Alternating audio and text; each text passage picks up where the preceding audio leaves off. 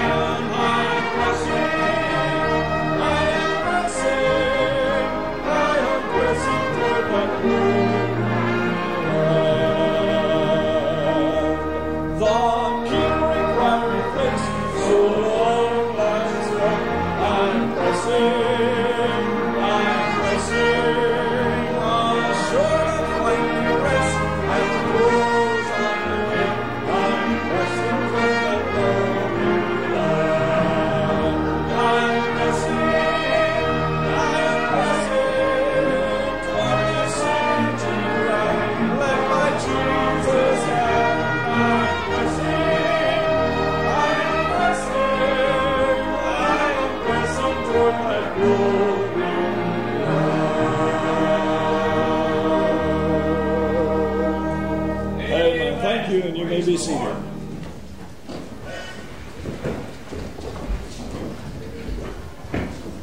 This time we're going to have the Gilberts come and sing for us. May the Lord bless them.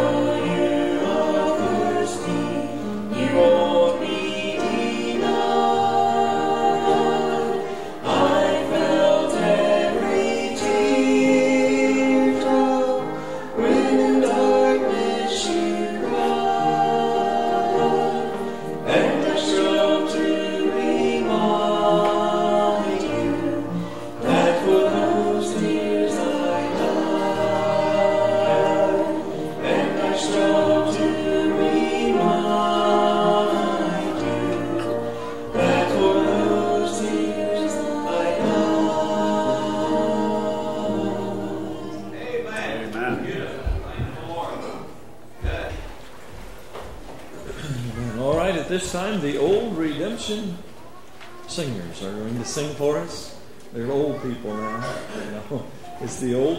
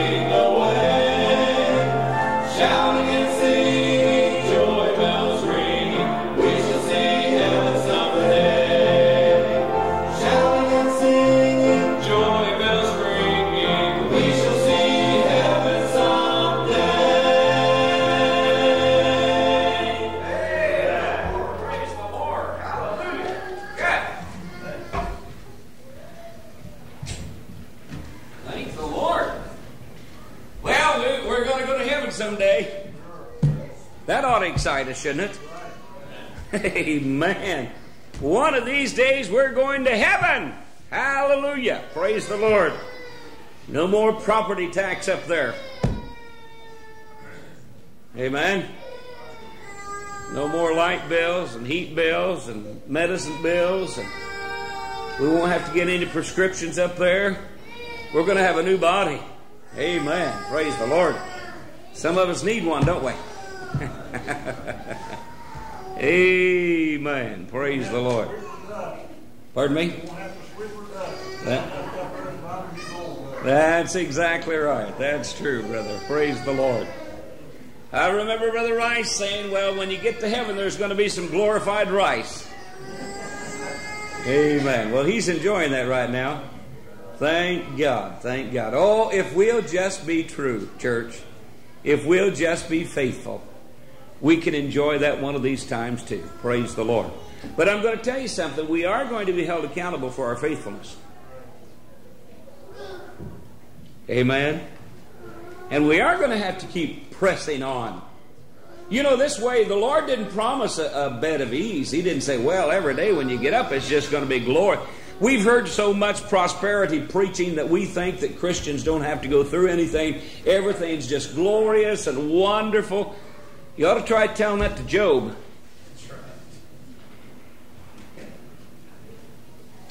Now, I will tell you this much the worst day you have serving the Lord is better than the best day you had serving the devil. But we have to keep pressing. We have a job to do.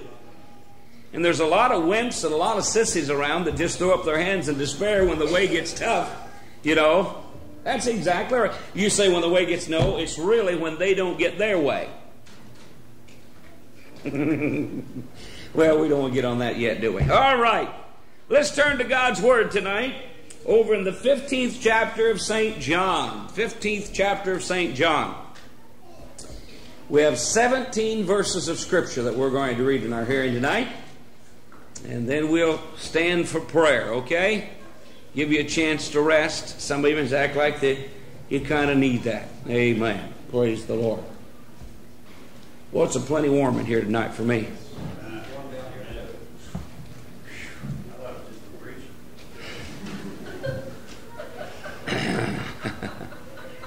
All right, chapter 15. I am the true vine, and my Father is the husbandman. Now, this is the words of Jesus. Every branch in me that beareth not fruit, he taketh away, and every branch that beareth forth fruit, he purgeth it, that it may bring forth more fruit. Now ye are clean through the word which I have spoken unto you. Abide in me, and I in you. As the branch cannot bear fruit of itself except it abide in the vine. No more can ye except ye abide in me. I am the vine, ye are the branches. He that abideth in me, and I in him, the same bringeth forth much fruit, for without me ye can do nothing. If a man abide not in me, he is cast forth as a branch, and is withered, and the men gather them and cast them into the fire, and they are burned. If ye abide in me, and my words abide in you, you shall ask what you will, and it shall be done unto you. Herein is my Father glorified, that you bear much fruit, so shall ye be my disciples. As the Father hath loved me, so have I loved you. Continue ye in my love. If ye keep my commandments, ye shall abide in my love, even as I have kept my Father's commandments and abide in his love. These things have I spoken unto you, that my joy might remain in you, and that your joy might be full. This is my commandment, that you love one another as I have loved you. Greater love hath no man than this, that a man lay down his life for his friends. Ye are my friends, if ye do whatsoever I command you. Henceforth I call you not servants, for the servant knoweth not what his Lord doeth, but I have called you friends, for all things that I have heard of my Father I have made known unto you. Ye have not chosen me, but I have chosen you, and ordained you that you should go and bring forth fruit, and that your fruit should remain, that whatsoever ye ask of the Father in my name, he will give it to you. These things I command you, that ye love one another. Let us look at verse 5 for our text tonight. I am the vine, you are the branches. He that abideth in me, and I in him, the same bringeth forth much fruit, for without me ye can do nothing. Let us stand for prayer. I want to talk to us tonight on the subject of the fruitful life. The fruitful life. Lord, again, we thank you for the privilege of being in God's house. We thank you, Lord, for your presence that we have felt tonight. We know, Lord, that sometimes in our own physical body, we may not be anxious, Lord, just to keep pressing, but there's something down within the spiritual heart of ours that says, Oh God, we want to keep pressing. We want to keep going this way. We want to be what you want us to be, Lord. We want our lives to be fruitful for you. One of these days we can hear those words of welcome, well done. Now we ask that you'll help us tonight. You know exactly what we need. You know our congregation. You understand all of us, Lord. And we ask that your will could be accomplished in our hearts and lives. That you, Lord, could have first place and you, Lord, could come and minister tonight as you'd be pleased with. We ask in Jesus' name, amen. Thank you. You may be seated. If you'll permit me tonight, I'm going to take my coat off. That's something I very, very rarely ever do, but I'm plenty warm up here. The fruitful life. Well, preacher, what in the world do you preach about, and, and what do you try to study after you have a revival meeting? Well, what's revival for? Well, revival is for you and I to be revived, to be stirred up, that our, our lives can be brought into focus because we are all human beings. The children of Israel, as they would walk with the Lord, and then it wouldn't be long until it seemed like that they would trust in them own, their own selves. They wouldn't hearken into the word of the Lord or the voice of the Lord. And it wasn't long until they were troubled again. And life is true. Every one of us. We go through life. Our life is like cycles. You know, we're not always up, but thank God we're not always down. Amen? And so, Lord, help us after coming through revival and you receiving help and me receiving help that we can use that as a, a as the old timers would say, chalk the wagon, you know, put a log under the wagon and piece of put a piece of wood or something under the wagon to, to chalk the wagon so that it doesn't go back down the hill, that we can go a little farther and chalk it again and go a little farther and chalk it again. And that's exactly what we need to do as a church. We need to chalk where God has helped us and how that He's brought us up the road in revival meeting. And then we need to keep pressing as we sang tonight and putting another chalk down and pressing as we sang tonight and putting another chalk down until we can be fruitful for the Lord. You know, it's not like Mother May I. May I take one step forward? And if you get to say Mother May I, you don't get to take, you have to go back to the beginning. You all remember playing that game? Huh? Well, that can't, we can't allow our spiritual lives to go through this, Mother may I. We need to walk carefully before God, listening to the voice of the Holy Spirit, and doing our part to advance the kingdom of God. Church, I really believe it's not going to be long until Jesus comes back. I really do. What we do we must do it quickly. Amen. All right. Let us notice I am the vine, ye are the branches. He that abideth in me, and I in him, the same bringeth forth much fruit. For without me, ye can do nothing. Now, spiritual life and full and fruitfulness depends upon us abiding in Christ. Now, abide has several meanings. First of all, it means to stay. Over in Genesis chapter 22 and verse 5, Abraham told the young man to abide or stay ye here, and I and the lad will go up yonder and worship. It means to dwell or to live in a place. Laban said to Jacob over in Genesis 29 and 19, Abide, dwell or live in a place with me. It means to continue. Jesus said over in John 14 and 16, I will give you another comforter that he may abide, that he may continue to be with you forever. It means to wait over in Acts chapter 20 and verse 30, 23. Paul says that the bonds and afflictions abide, they wait for me. It means to rest over in Proverbs chapter 19 and verse 23. The fear of the Lord tendeth to life, and he that hath it shall abide. He shall rest, he shall be satisfied. And it means to stand firm. Over in Psalms 125 and verse 1. They that trust in the Lord shall be as Mount Zion, which cannot be removed but abide. It stands firm forever.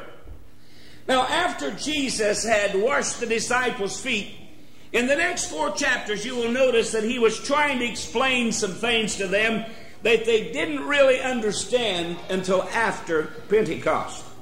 There were only a few of the multitude saved, and Jesus left his work for the disciples to do, and also those that would hear and follow him. He promised them a comforter, or one that would come and help them in the great task. You're not alone. I want you to know you're not alone in your fruitful life. The comforter has come and, and is one that walks along beside us and helps us. If they failed, who would take up the torch and spread the gospel? Now, why didn't Jesus just send the angels down to spread the gospel? Well, the reason was they knew nothing about salvation. And Jesus needed to explain to them of the fellowship or the union they had with Him as He had with the Father. I am sure, uh, I'm sorry, He promised to go away and prepare a place for them and come again that where He was, we might be also. I am sure that it was a comfort and, and, and then to say, not only would he send the comforter, but he would say that I will never leave thee nor forsake thee. Amen. Now let us notice first of all the words I am. The words spoken to Moses were in that present tense over in uh, Exodus 3 and 14. And God said unto Moses, I am that I am. And he said, Thus saith thou, say unto the children of Israel, I am, has sent me unto you. So I am is the present tense. He said, I am the vine. The present tense of I am the vine.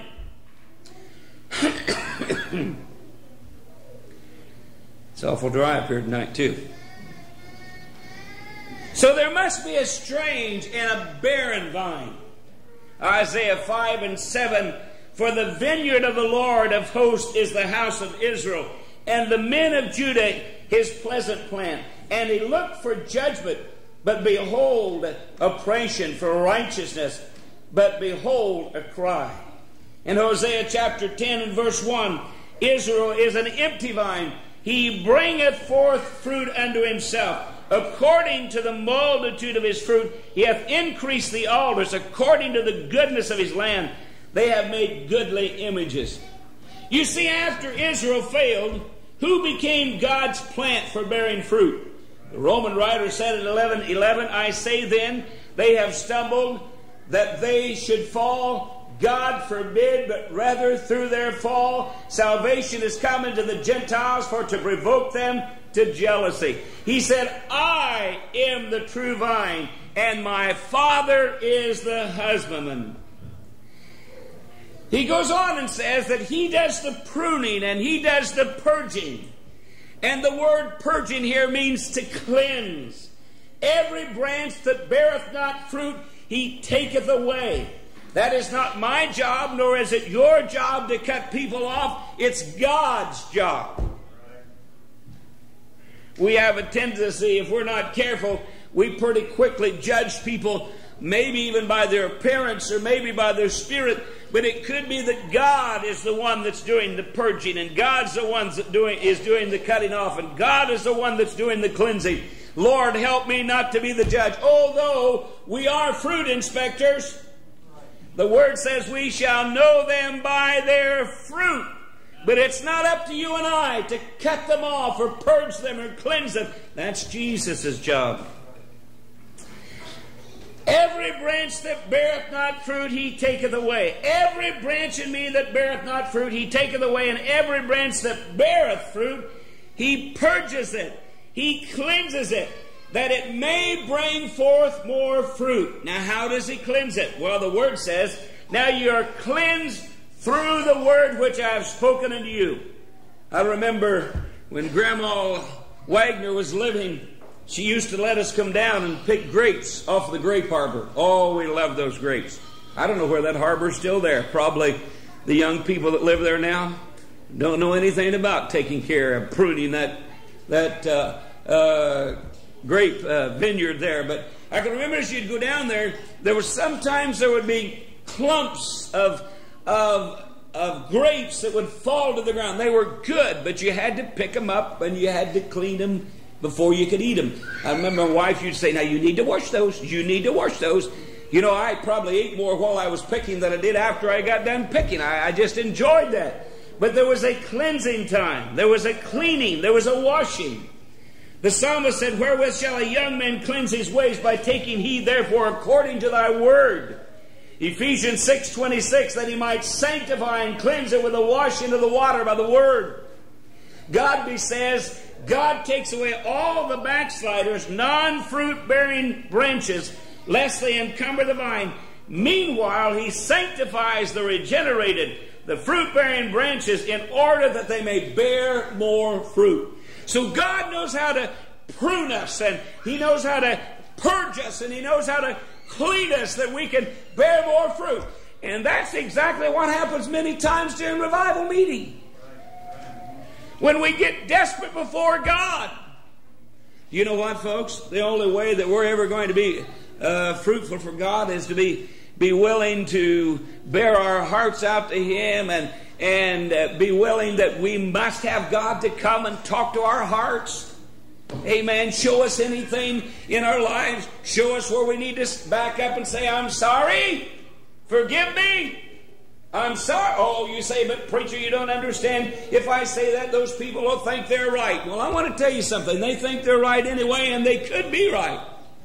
And we need to be careful that God, we allow God to purge us and prune us until we can be fruitful for the Lord. I'd rather step over the mark of being more conscientious and saying I'm sorry than stepping on the other way and not saying that I'm sorry and holding grudges and, and allowing walls to be built up between me and individuals. Amen. I want to just tell you something, in case you don't know it, there is no perfect church. And if you find it after you go there, it won't be perfect any longer. Evan Hopkins says that practical holiness is put forth before you in the scripture under the figure of fruit. And so God's taking the example of fruit to show to us what real holiness is like, the fruitful life. He said, I am the vine. Secondly, let us notice, but what really is fruit? Well, it's the deposit of the sap. It's the final resource of results of all the inner activities of the tree. The outcome of the hidden life, which, which beginning with the root, passes through the stem into the branch, and finally manifests itself in the blossom and in the fruit. How are we going to be fruitful Christians? Well, I'll tell you how, is when we allow God to be the true vine from the inner sources of our heart, and it'll flow through us until we can be fruitful for the Lord. I want to tell you something. There's nothing that'll come out of that heart but what's in there. You can't think it. You can't plan it. You can't work at it unless you have a pure and a holy heart. There's not going to be that which is pure and holy coming out.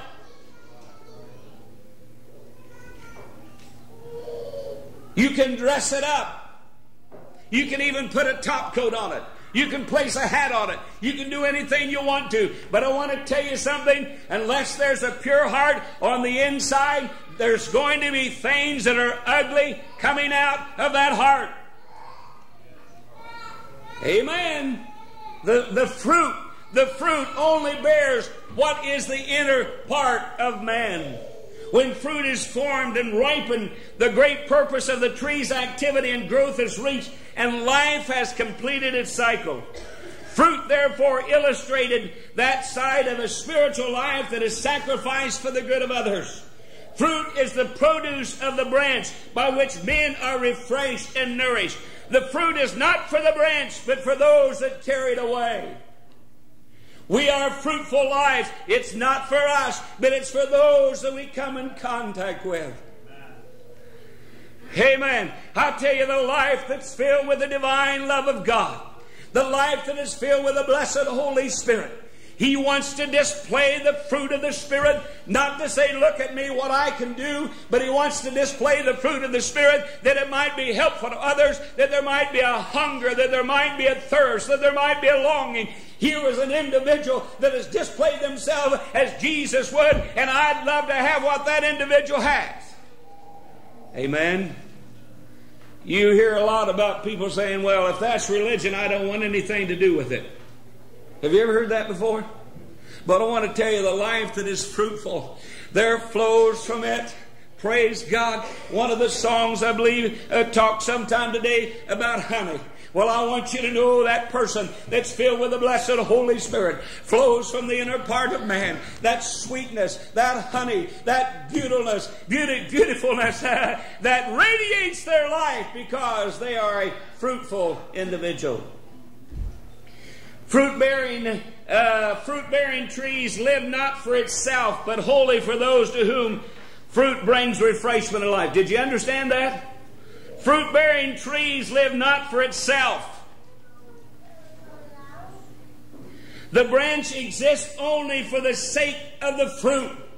Holiness is not an imitation. It's possible to perform duties and do good works and call them fruit. If you were to tie a half a dozen bunches of grapes on your old umbrella, that would not make it a vine. You may tie them on carefully, but they will not grow. And that's just what the multitude of people are trying to do today. Practical holiness is not something that begins by doing, but by being. We have all of this preaching about works and, and doing something for the Lord until you have individuals that are doing rather than being. Lord, help us. I want you to know something. If you are part of the vine and if you have old fashioned holiness on the inside, you'll be willing to do, but it'll first become that you're willing to be what God wants you to be. And you can be a lighthouse for Jesus Christ. Thank God for that. Paul says that we might be fruitful in every good work. Our service should be the direct outcome of a divine, indwelling, vital principle.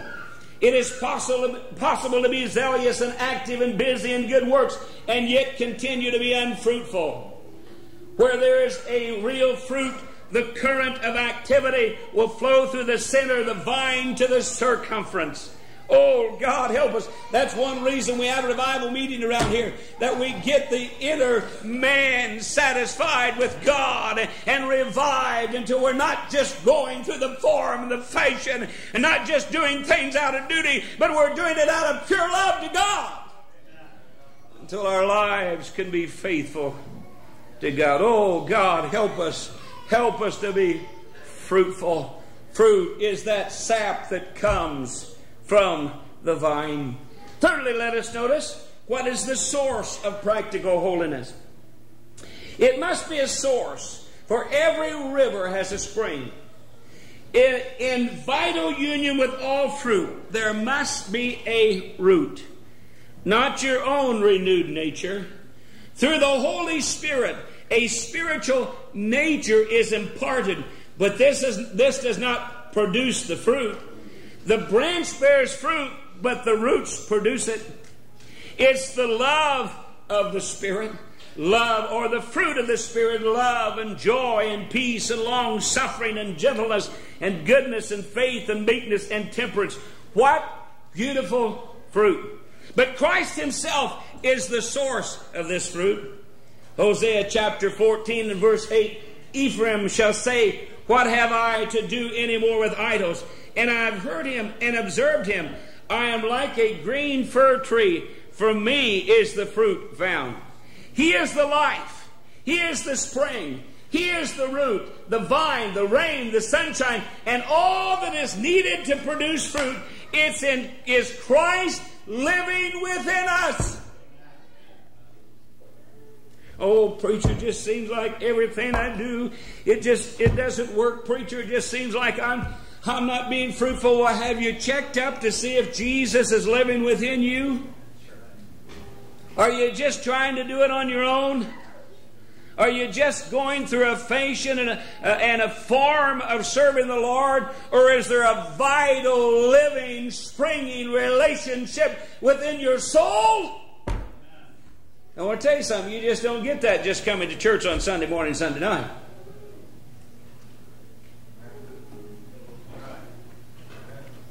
It takes an everyday relationship with the Lord.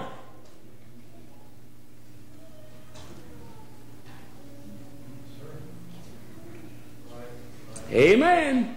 It takes a constant pressing. As I mentioned before, serving the Lord isn't easy. You've got to work at the job. Kind of like brushing your teeth. I must be an odd fellow, but it seems like every time I brush my teeth, and especially if I don't use AIM toothpaste, I gag. I'm serious. We bought some toothpaste that was a little bit cheaper, and I told my wife, I said, I'll be so glad when we get done with this because what I, I actually, I gag. I really do. I, I can't, I don't know what it is. I, I must have a funny mouth or something. And I, I would brush my teeth and just the taste of it just, oh, I just couldn't hardly stand it. I'm serious. But do you think I quit brushing my teeth? No, I didn't. You want to know why?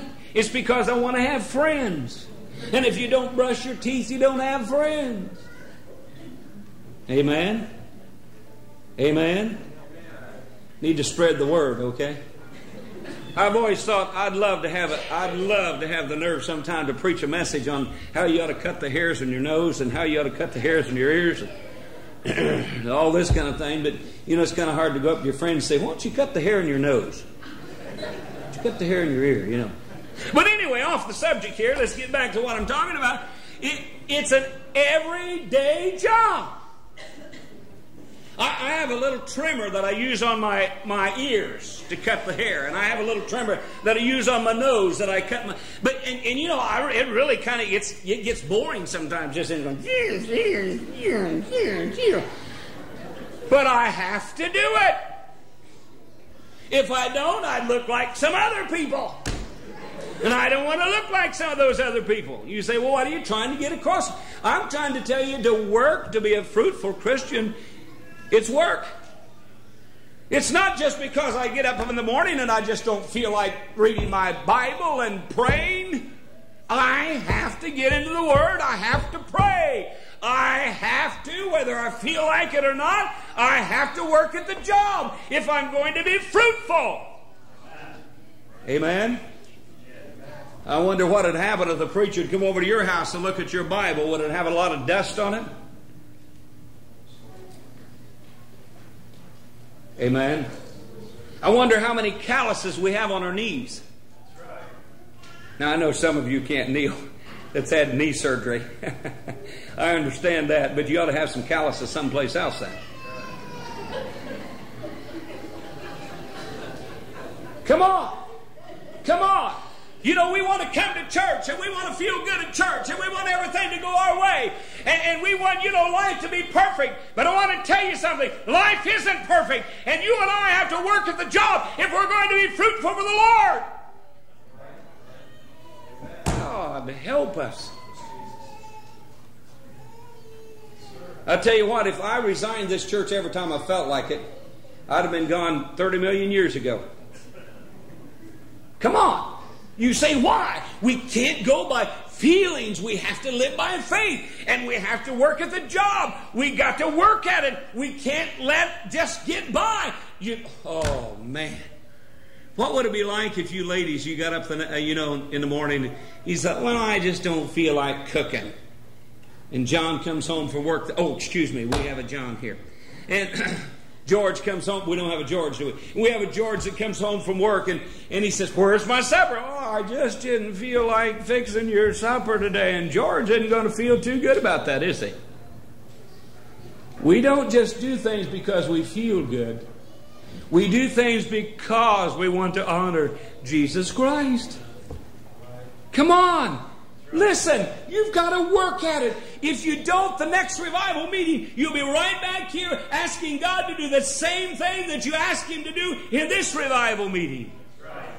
You won't grow in the grace of God or the nurture of the Lord or the stature of the Lord unless you do it every day. Take it by the task and work at the job every day, asking God to help you and mold you and make you a fruitful Christian for Him. Amen. Well, He's the life. He is the spring, He is the root, the vine, the rain, the sunshine, and all that is needed to produce fruit. It's Christ living in us. He's the life. John said, I in him was life, and the life was the light of men. He is the bestowal. John 3.16, For God so loved the world that he gave his only begotten Son, that whosoever believeth in him should not perish, but have everlasting life. He's the indwelling. John 14.4, But whosoever drinketh of the well that shall, shall give him shall never thirst, but the water that I shall give him shall be in him a well of water springing up into everlasting life. He's the outflow. He that believeth on me, as the scripture has said, out of his belly shall flow rivers of water. He is the one you and I can't be fruitful unless we allow Him to be living within our lives, walking in that light and serving Him as we ought to be serving Him. We can't be fruitful. He is the one that makes us fruitful. This is the last stage in the fruit coming from the cleansed heart with the indwelling Christ. Remember, Christ liveth, a present tense in me. He doesn't need outside help. We are like the apple on the tree. We just hang in there and He produces the fruit. Amen. You don't have to walk out and say, Well, I'm going to produce fruit today. No. If you have Jesus abiding and the Spirit abiding within your heart, you will be producing fruit that day. Amen. Praise God. Some people say, Well, I, I just, I. Well, why don't you just let Christ have all of you? What are you, what are you, what are you, what are you worried about trying to save a little bit for yourself? Well, you don't understand my personality. You don't understand my makeup. You don't understand my will. That's the secret right there. Your will. When you turn that over to God and let Him have everything that you have or ever will have, then He can produce fruit through your life.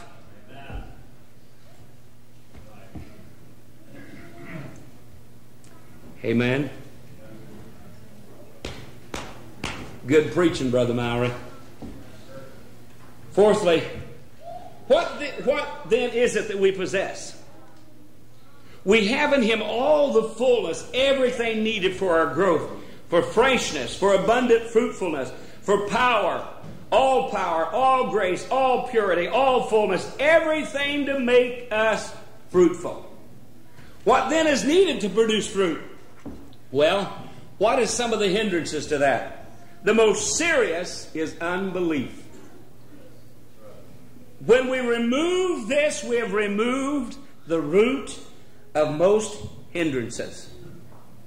Oh, preacher, I just don't know if the Lord could do it for me. I'm such a strong willed person. Well, I want you to know the Lord loves strong willed people. Because when He has you, you know, every little bump that comes along in the way, you don't just fall over. You don't get a flat tire and have to fix it. I mean, you, you say, well, that bump may be there now, but there's one thing for sure that's not going to slow me down. I'm going to keep serving the Lord.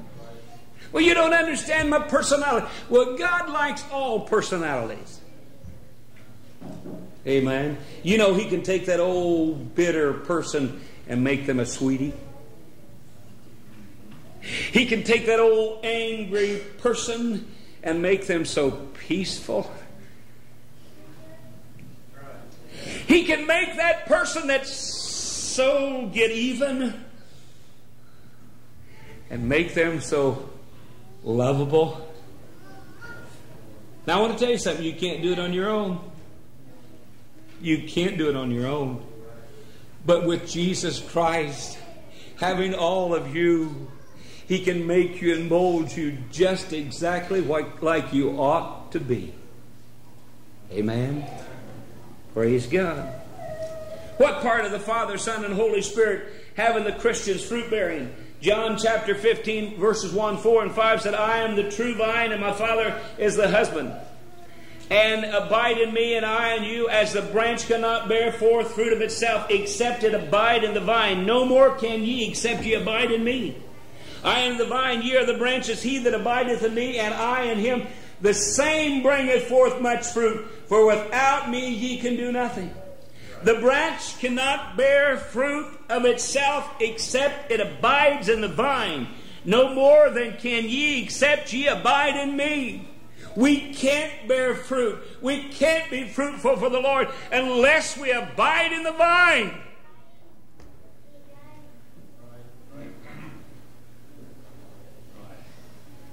Amen. I won't get into that, okay?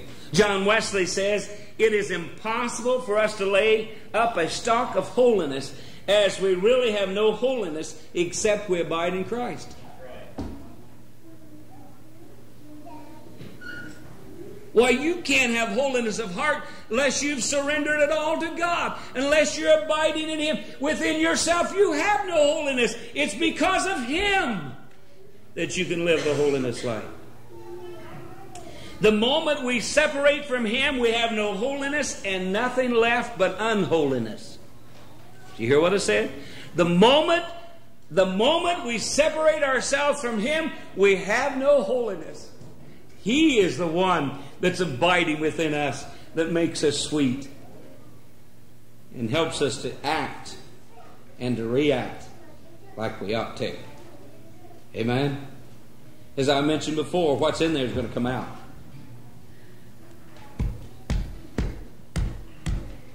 Amen. Yoo-hoo. Are y'all still here? Hey, are you awake? Did you hear what I said? What's on the inside's what's going to come out. I remember that revival meeting I held for a fella, and, and it was a, it was a good meeting, and and they decided that we ought to go on another week. And he asked me, he said, Can you go on? I said, I, I can go through Friday night, but that, that's as long as I've got to get back to my church. It was during the Christmas season. I, I said, I got to get back to my church, but I'll, I'll go through Friday night. Now, I remember that Sunday night when the lady shook hands with him and said, Preacher, you're going on another week? Well, I took off of work on Friday night because we were having our Christmas supper, and I don't like it. Now, what was that? That wasn't holiness of heart. That was an old selfish will. She would have rather uh, sat around the Christmas tree and sang Christmas tra- uh, carols and, and ate ham and turkey than she would to have her, her soul moved upon a revival meeting. Amen, Preacher Mary. I want you to know the way you act is what's on the inside. There's no way around it. The way you act and the way you react is what's on the inside. Oh, you don't understand. Yes, I do. I know if Jesus is on the inside, He's going to help you act and react like you ought to. and if you don't, then you're checked and you're willing to say, I'm sorry. You know, you may not have the best judgment all the time. Amen. You know, just because we're sanctified doesn't mean we have the best judgment. Our head isn't changed, it's our heart. And sometimes our head gets in ahead of our heart, and we may do something or say something we're sorry that we did, but the sanctified heart is willing to back up and say, I'm sorry. Will you forgive me? Huh? But the unsanctified heart says, Bless God, I'm just going to keep right on marching. I'm going to do my own thing. That all those what? I'm the holy one. When actually you ought to be saying I'm the unholy one. Lord help us. Well, the moment we separate from Him, we have no holiness and nothing left but unholiness. There was a man who was teaching a group of youngsters uh, in camp meeting, and, and, and outside there was an apple tree that had a few green apples on it. And so he told them, he said, he went out and cut the branches, and he said, Oh, he said, I love red, delicious apples. And he said, I'm going to take this branch home, and he said, I'm going to wait until it ripens and I'm going to eat these apples. The kid said, Now you can't do that. You cut it off the tree. It's going to, oh, you watch me. I love red apples and I'm going to eat red apples and they're going to be good for me. You watch me, he said. And so he laid it up on the piano for the rest of the week. And as the week processed, they could see that the tree, the branch was dying. And the last day, he used that as an illustration. You know, when we leave the tree, when we leave that vine, life is no longer in that branch. Lord, help us. Lord, help us. Verse 6 says, If a man abide not in me, he is cast forth as a branch and is withered, and men gather them and cast them into the fire, and they are burned. Rees Howells, in his book on the intercessor, he relates how when he was trying to gain victory for another person's salvation, the Spirit gave him John chapter 15 and verse 7. If ye abide in me and my words abide in you, ye shall ask what you will, and it shall be done unto you. It would depend on his abiding. In all cases of his intercession, he spoke of the guarding of his place of abiding. The, the scriptural key was found over in 1 John chapter 2 and verse 6 said, As he has said, he abideth in me, ought himself also to walk even as he walked. He's saying, if I'm going to abide in Christ, then I'm going to have to walk like Christ would want me to walk. Not like what I want. And if I'm going to hang on to the promise that if I abide in me and my words abide in you, ye shall ask what you will and it shall be done. He said, then I'm going to have to abide in Christ and be what God wants me to be. Amen. you want me to tell you why some people look like they look and act like they look and go where they go? I'll tell you why. It's because of their self will. They won't allow the Spirit to speak to them and talk to them about what they ought to do. And for sure, they're not going to let the preacher say anything about it. And boy, I'll tell you, if you start naming things, it's not long till, boy, people bristle up and they, their old backbone gets as straight as can be, and they say, well, nobody's going to tell me what to do. Are you abiding in Christ when you won't allow the Spirit to speak to you? No, you're not. You're walking behind light, and the Word says that light becomes darkness. And men love darkness rather than light because their deeds are evil. And that's the reason tonight some people can still go on and make a profession, but they don't have the Spirit. They're doing it on their own, they're not living by the Spirit. Amen? God help us. In other words, it meant to be willing for the Holy Spirit to live through him the life the Savior would have lived if he had been in his place. The way of abiding is keeping his commandments. He said, If you keep my commandments, ye shall abide in my love, even as I have kept my Father's commandments and abide in his love. It's not so much the outward, but the self nature that branches remains. United by abiding, it will produce fruit through the branch.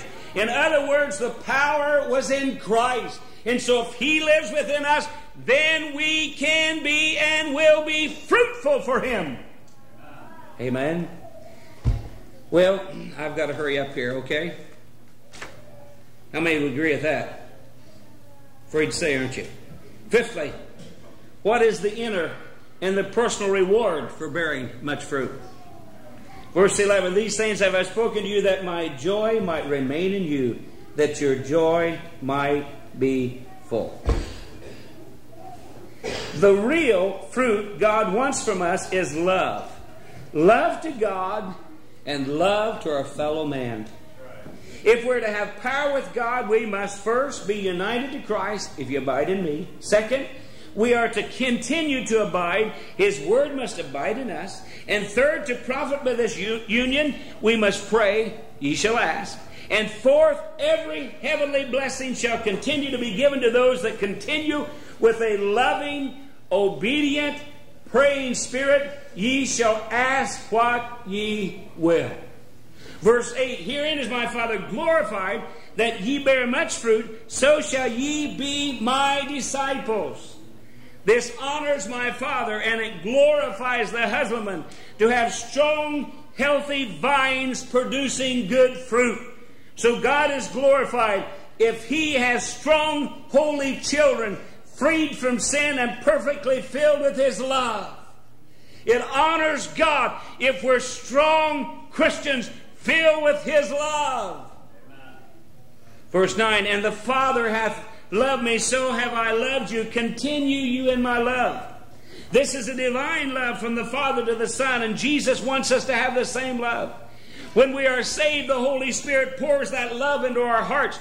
Romans 5 and 5, and hope maketh not ashamed, because the love of God is shed abroad in your hearts by the Holy Ghost, which is given unto us. The love of God, divine love, is shed abroad in our hearts by the Holy Ghost, which is given unto us. Verse 10 says, If ye keep my commandments, ye shall abide in my love, even as I have kept my Father's commandment and abide in his love. When we get this holy love, we can faithfully keep his commandments only as we abide in, and otherwise we will sever our connection with Christ and forfeit his divine love. These things have I written to you that you that my joy might remain in you and that your joy might be full. It doesn't say half full. It doesn't say partially full. It says that your joy might be full. How's your joy level tonight? Well, physically, preacher, I don't feel much like joy. I can understand that. You know, your physical condition have a lot to do with your spiritual condition. But there's one thing for sure that you can know. You can know that you have not willfully sinned against God and disobeyed Him. Amen. Well, I must hurry on. Jesus' joy come from a heart of purity, since he had no sin, and therefore, if we are to enjoy his joy, we must have a pure heart. Joy is the first attribute of the fruit of the Spirit after divine love has taken full control. Peace is next. Jesus said they would be hated, but his peace would, uh, would leave with them. Peace is a love arresting. This is my commandment that ye love one another as I have loved you. Jesus loves you with a divine love, so he tells you, ye shall love others with a divine love. So much of our love is human love. And the love, will, that love will love you and hate your enemy, while divine love loves both you and your enemy alike. Amen. Amen. You know, you don't have to like your enemy, but you have to love them. You say, Preacher, what's the difference? There's a lot of difference. People that you like, you like to be around them. You enjoy their company. You enjoy talking to them. But you know, people that are, that are your enemy, you don't necessarily enjoy being around them, but you love them. That means that you would do anything in your power to help them. Amen? You know, there are some people, if they were on fire, uh, they wouldn't even spit on them because they're so selfish. They're, they're so possessed with their own self. But a heart that has divine love even though they're your enemy, even though you know they may not like you, you'll still love them. Amen. Wouldn't it be wonderful when we get to heaven that all of our enemies are right next door to us? Hallelujah! Well, now they're not going to get there if they act ugly and do wrong, but if they have a clean and holy heart, they can get there. And I want all of my enemies to make it to heaven. I don't want anybody to lose their soul. Well, now what should be the attitude of obedient Christian toward one another? That is, that we ought to love one another. Here in this chapter, we have Jesus' discourse on love. I'm just about done. It's fourfold. There is the love of the Father for the Son, and the love of the Son of the uh, and the love of the Son for the Father. Secondly, Jesus spoke of his love for his disciples as the Father loved him who was most worthy. Jesus loved them who were most unworthy. And thirdly, Christ deals with the disciples' love for Christ. They would prove their love by keeping his commandments. And fourthly, Jesus spoke of, of disciples love one another. He said this would be their proof for their love for him if we love one another. Oh Lord, help us to be fruitful. Are we living a fruitful life? If the great fruit inspector looked at our fruit, what would he find? Lord, help us that we'll be fruitful Christians for you. Amen. Amen.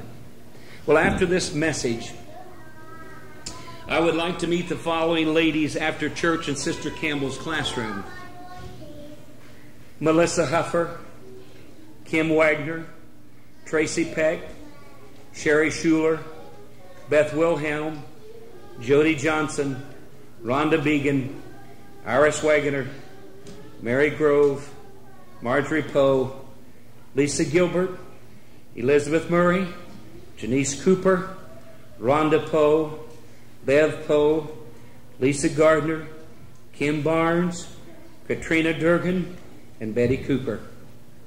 Because I feel like these ladies need what I'm preaching. No. My wife wants to meet you immediately after the service. Lord, help us to be fruit bearers. Amen? Amen? Don't you want to be a fruit bearer? Do we really want to be?